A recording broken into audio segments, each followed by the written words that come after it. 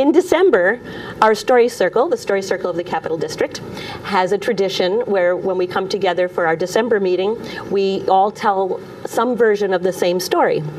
And in December this year, we chose The Frog Prince.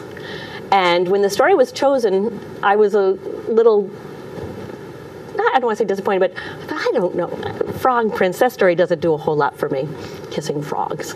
And then I started researching it a little bit, and I realized um, that this idea of enchanted frogs is a very ancient story and goes back to ancient Greece and even to Australia. I don't want to say into the dream time of Australia, but it goes pretty far back into Australia. And I found two stories, and and then I started thinking, why why are we so um, fascinated by this idea of enchanted frogs? But look at frogs; they look like us, right? Why have generations? Well, maybe they look like you, Claire, but I've never admitted that they look like me.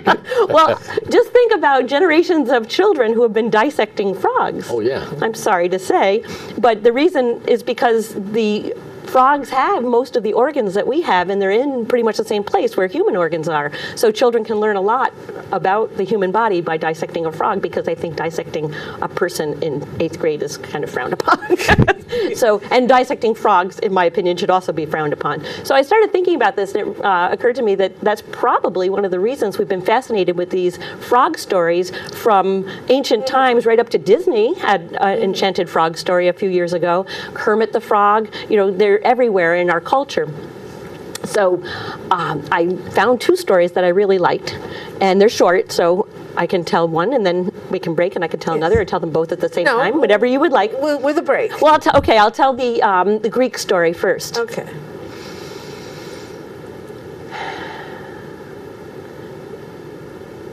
There's gods and goddesses for just about everything. The god of the sun, the goddess of the moon, the deities that control our water and our earth.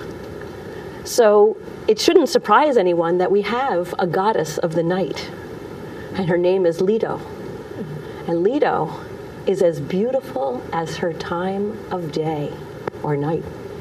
For me, night is probably my favorite time. I love it when it gets dark I love when the sun sets and it paints the, the snow or the ice or the lake, those pinks and blues. I love to watch the first stars come out. And in summertime, the first fireflies as they flicker in the, in the air. So for me, night is very special, and I was so excited to learn that there is a goddess of the night.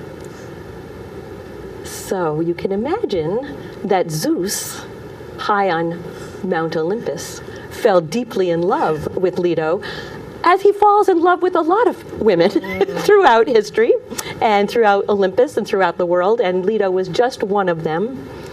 But there was something very special about Leto, and Hera became very jealous. She didn't get jealous of all Zeus's lovers, but Leto was one who touched her deep in her soul, and she feared for her own place on Olympus.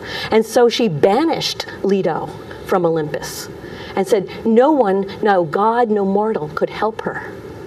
She was banished to the earth, and she was pregnant.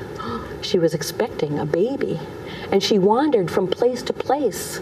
And because of Hera's proclamation, no one could give her food or water or any sustenance or any help at all. And at last she came to a place, a beautiful pool. It was surrounded by willows. And there the people were collecting the willow branches to make, make baskets.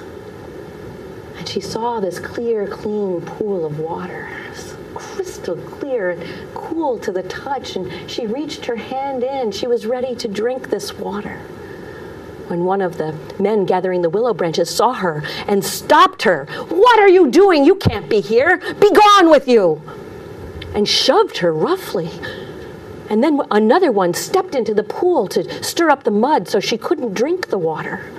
And soon they were all shoving her and jumping in the water and splashing and making a mess and scaring the fish. And they were pulling up the willow, the, the the uh, cattails and the other flowers and laughing at her.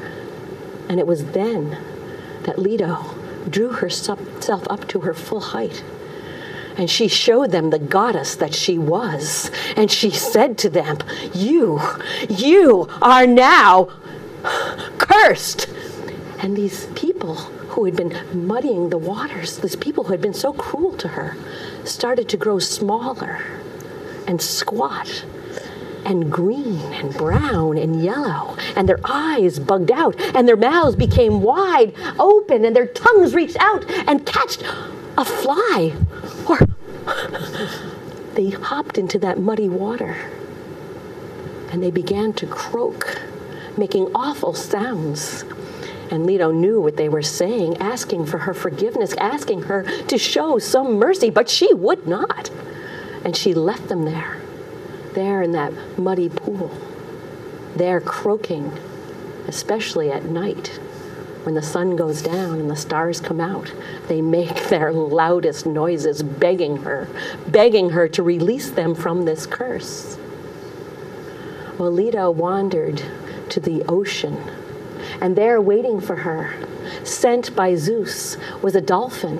And she climbed aboard the dolphin's back and she went through the water to an island, Delos, an island that was not fixed to the earth and therefore was not part of Hera's proclamation. And she stepped on this island. And as soon as she stepped on the island, it was anchored to the earth by Zeus.